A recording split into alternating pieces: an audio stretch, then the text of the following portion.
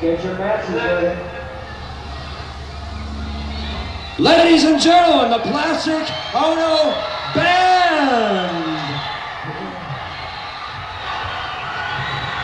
Toronto welcomes the Plastic Ono Band. Give peace a chance. Give peace a chance. I think our, all our society is run by insane people for insane objects, hmm. objectives. You Yeah, yeah. And I think that's what I sussed when I was 16 and 12 way down the line. But I expressed it differently all through my life. It's the same thing I'm expressing all the time. But now I can put it into that sentence that I think we're being run by maniacs for maniacal mean uh, ends, you know. If, if anybody can put on paper what our government and the American government, etc., and the Russian, Chinese, what they are actually trying to do, you know, on how what they think they're doing, hmm. I'd be very pleased to know what they think they're doing. I think they're all insane, you know, but I'm liable to be put away as insane for expressing that. Hmm. You know, that's what's insane about it. Hmm. Every country's had a violent revolution for one reason or the other. Not one of them has the freedom we're all talking about. So we're saying give peace a chance, you know, like nobody's ever done it before. And it's not a matter of, we're not thinking in terms of 10 years, we're thinking in terms of peace forever, you know. And everybody's talking about now, I want peace now.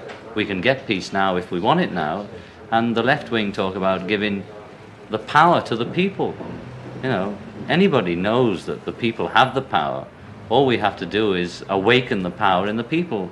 The people are unaware. It's like they're not educated to realize that they have power. They put the politicians in power. They vote for the local mayor. The people do it.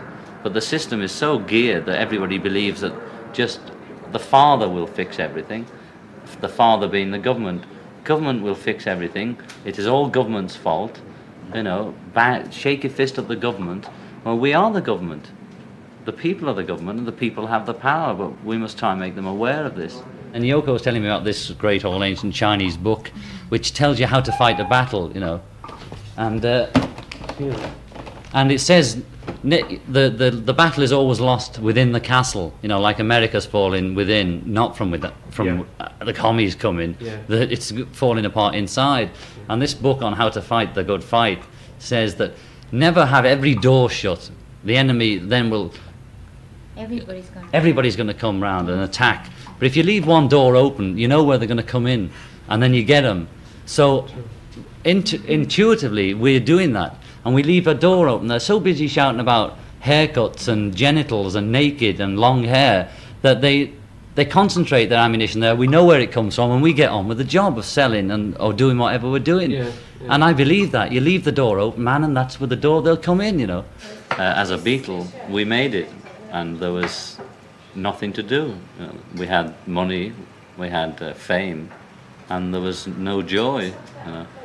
And then I met Yoko, and she was making it as an avant-garde artist, and uh, we both tried to find something we had in common, a common goal in life, because we couldn't.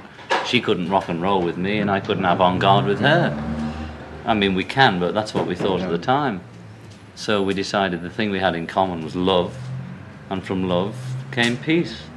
So we decided to work for world peace. And how do you do that? We do it by the advertising method. We believe that today's society, advertising is the thing politicians use and uh, commercial companies use. The Beatles use it.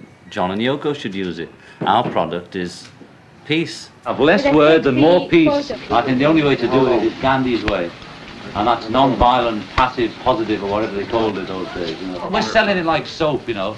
And you've got to sell and sell until the housewife thinks, oh, uh, well, there's peace or war. That's the two products. Peace. Peace. Peace. Peace. Peace. Peace, peace, peace, peace, peace, peace, peace, peace, peace, peace, peace, peace, peace. Peace in your mind, peace on earth, peace at work, peace at home, peace in the world.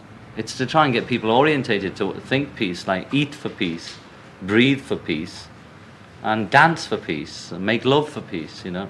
To just have the peace like a mantra going round and round in your head. War is a game that's gone too far, you know.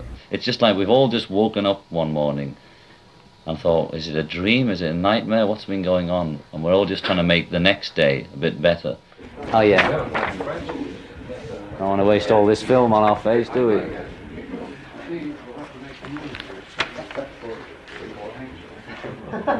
We specifically did the poster event around the world for Christmas to try and get at least one plug in for peace on earth at Christmas because that's what it's about. And happy birthday, Christ, you know, is what it's about. If you had one wish for Christmas time, what would it be? Peace Peace on earth. yeah. and love. Peace on earth.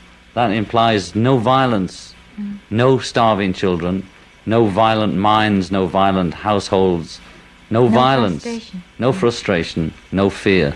Happy Christmas, Kyoko. Yeah.